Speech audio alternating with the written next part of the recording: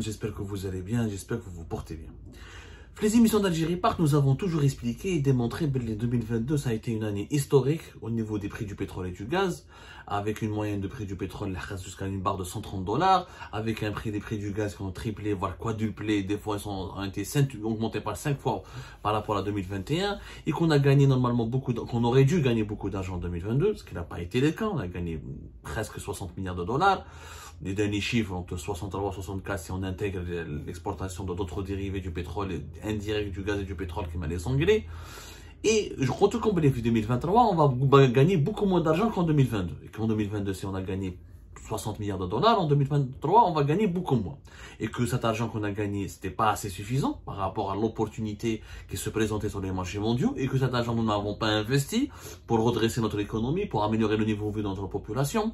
Un pays pétrolier et gazier où il y a des pénuries de légumes secs, de, de certains légumes, de certains fruits, de certains, de plusieurs médicaments, de certains produits alimentaires, où les services publics ne se sont pas développés, où le niveau du chômage a explosé, où l'inflation était encore à deux chiffres, c'est un pays qui n'est pas normal.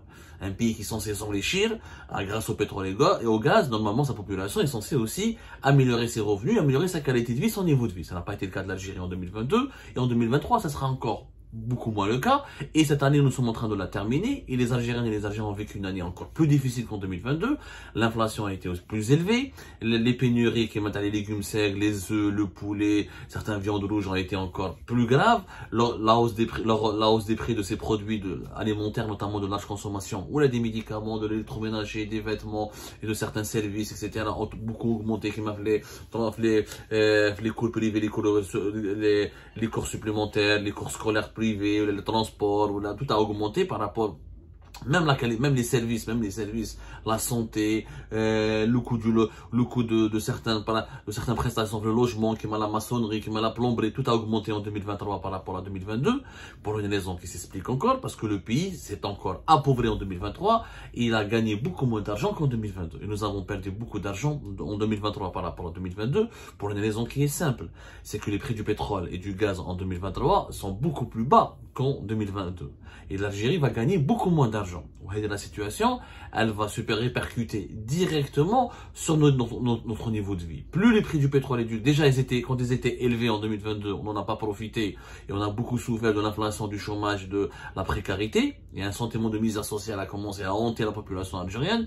En 2023, avec des prix plus, plus bas qu'en 2022, la précarité va encore plus progresser. L'appauvrissement de plusieurs de, l'appauvrissement, la chute du pouvoir d'achat qui, provoque un, un appauvrissement réel, pas uniquement un sentiment d'appauvrissement.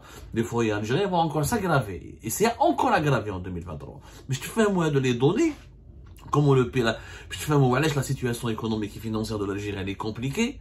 Un pays de, nous avons, euh, on va, 2023, nous avons dépassé les 46 millions d'habitants. Donc on est quand même pas, on n'est pas les monarchies du Golfe, 3, 4, 5 millions d'habitants, ou la, ou la 20, non, on est 46 millions d'habitants. C'est quand même, on va, en 2024, on sera 47 millions d'habitants c'est quand même énorme, c'est quand même important. Ah, non, c'est pas, euh, c'est pas c'est pas 200, 300 millions d'habitants, mais ça reste, on a, on a des besoins qui sont en train de croître. Et les moyens financiers de l'Algérie sont encore limités. La preuve. Nerdou, on va comparer l'année 2022 et l'année 2023. Je fais un mot à l'Algérie a perdu beaucoup d'argent, et cette perte d'argent s'est répercutée directement par de grandes difficultés, parce que, voilà, en 2022, déjà, avec beaucoup, l'argent que nous avons gagné en 2022, on n'a pas pu beaucoup, on n'a pas pu investir, parce qu'il y avait beaucoup de besoins et que le, régime algérien fait le choix d'économiser de l'argent dans les réserves de change, de limiter les importations et de ne pas investir dans l'économie, d'augmenter juste les dépenses publiques pour améliorer le train de vie et le fonctionnement de l'État. En 2023, ça a été les mêmes choix, mais avec beaucoup moins d'argent qu'en 2022. C'est ce qui a engendré, qui m'a compte, plus d'inflation, plus de chômage, plus d'appauvrissement, plus de précarité. La preuve, Nardo les chiffres.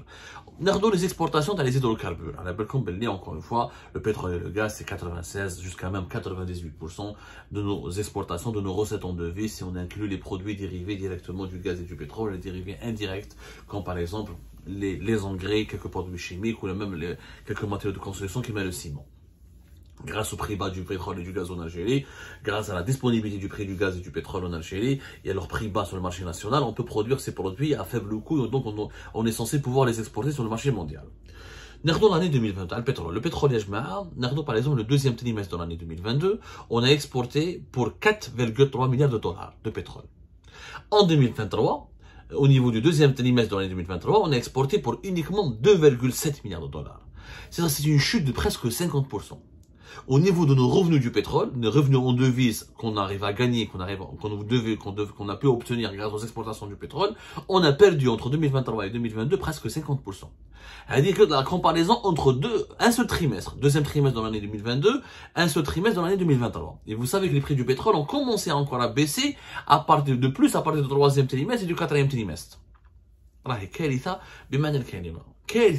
C'est-à-dire que à la fin d'année, en 2022, à la fin de l'année 2023, vous allez voir une grosse différence au niveau des revenus en devises de l'Algérie qu'on arrive à obtenir grâce aux exportations du pétrole. En 2022, les exportations du pétrole ont rapporté à l'Algérie 15,3 milliards de dollars. En 2023, on va jamais dépasser les 10 milliards de dollars. Minimum, 5 milliards de dollars facilement. La preuve, 4,3 milliards de dollars d'exportation deuxième trimestre de l'année 2022, 2,7 milliards de dollars d'exportation du deuxième trimestre 2023 et les prix ont commencé à chuter, à baisser à partir du troisième et du quatrième. Là, on est au quatrième trimestre, les prix ont baissé à moins de 80, on est à 76, 75 dollars le baril. Donc, on a gagné beaucoup moins d'argent qu'en 2022. Ce qui fait que nous allons donc, ça s'est répercuté sur la situation économique du pays, puisque beaucoup moins d'argent, donc, et avec plus de dépenses publiques, donc, beaucoup moins d'argent consacré aux investissements, beaucoup moins d'argent consacré à l'amélioration du, du, développement du pays et donc à l'amélioration du train de vie de la population, parce que c'est le train de vie de l'État qui compte s'améliore, c'est les fonctionnaires et les agents au service de l'État qui en profitent, mais c'est pas le reste de la population algérienne qui reste plombé par l'inflation, le chômage qui augmente, quand il n'y a pas de projet, quand il n'y a pas de nouveaux projets, il n'y a pas de création d'emplois, quand il n'y a pas de création d'emplois, il y a beaucoup de chômage, quand il y a beaucoup de chômage, il y a beaucoup de faux parce que les salaires sont faibles, quand il n'y a pas de productivité économique, pas de croissance économique, les salaires restent faibles, ça n'augmente pas, l'inflation augmente, le coût de la augmente